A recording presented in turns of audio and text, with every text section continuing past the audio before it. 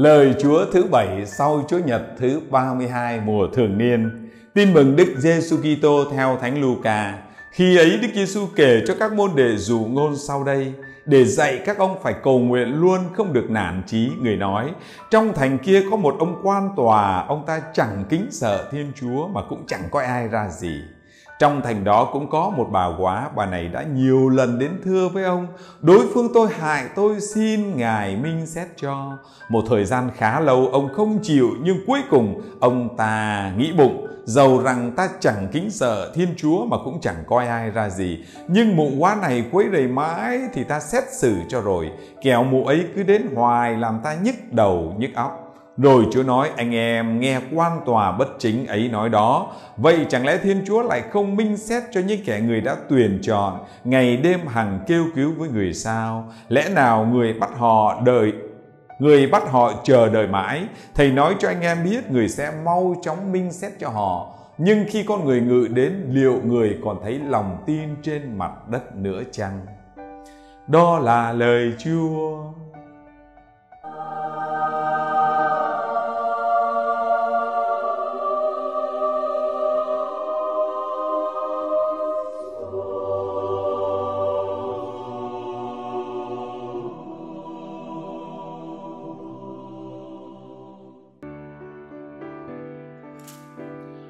Kinh thư cộng đoàn ôn lại lời Chúa ngày hôm qua, Đức Giêsu nhắc lại hai biến cố đại hồng thủy với ông Noe và thành Sodom với ông Lot và Chúa cũng nhắc nhở tất cả chúng ta.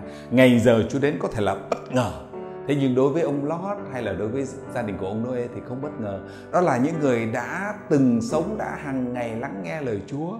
Và chắc chắn là Chúa không bao giờ muốn cái bất ngờ đến với tất cả chúng ta. Chúa muốn cứu độ tất cả chúng ta.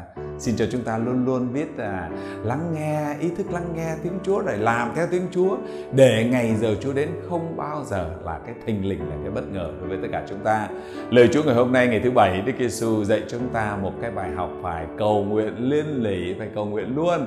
Qua hình ảnh có một cái người bà quá này đến cầu cứu với ông quan tòa mà Chúa Giêsu dùng cái hình ảnh đó, ông này ông không kính sợ Đức Chúa và cũng không coi ai ra gì. Thế nhưng bà quá này bà cứ kiên trì và cứ lì ra đó, cứ lì ra đó cầu nguyện. Rồi cuối cùng ông quan tòa ông nói, mặc dù mình cũng chẳng kính sợ Chúa, cũng không coi ai ra gì, nhưng mà cái mụ này nó cứ làm mình nhức đầu nhức óc Chúa Giêsu muốn nhấn mạnh cái điều đó để thấy cho chúng ta thấy rằng đấy, một cái người xấu mà khi chúng ta kiên nhẫn thì người ta cũng còn giải gợi cho chúng ta. Đức Giêsu muốn tất cả chúng ta cầu nguyện thì cần phải là cầu nguyện kiên trì. Thế nhưng con cũng chia sẻ ở một cái cạnh khác, à, kiên trì đây cũng không có nghĩa là lải nhải. Chúa Giêsu nói rằng là khi cầu nguyện anh em đừng có lải nhải. Vì cha của anh em ở trên trời là thấu suốt tất cả tâm can này. Ý anh em cần cái gì rồi không cần phải cứ không phải là cứ nói nhiều. Chúng ta kiên trì ở đây không phải là lải nhải như cầu nguyện như Đức Giêsu dạy đấy lạy cha chúng con là đấng ngự trên trời. Xin làm cho danh thánh cha vinh hiển, ý cha được thể hiện.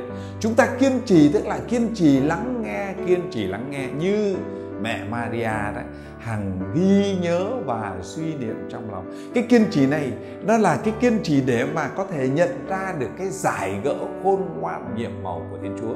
Chúa lúc nào cũng muốn giải gỡ cho chúng ta. Thế nhưng cái sự kiên trì này là để cho tất cả chúng ta. Vì thế kết thúc bài tin mừng, Chúa Giêsu có nói rằng là khi con người đến, liệu có còn niềm tin? Liệu có còn niềm tin nữa không? Cái cầu nguyện kiên trì là cầu nguyện trong đức tin. Còn cái cầu nguyện lại nhã là cầu nguyện theo ý mình.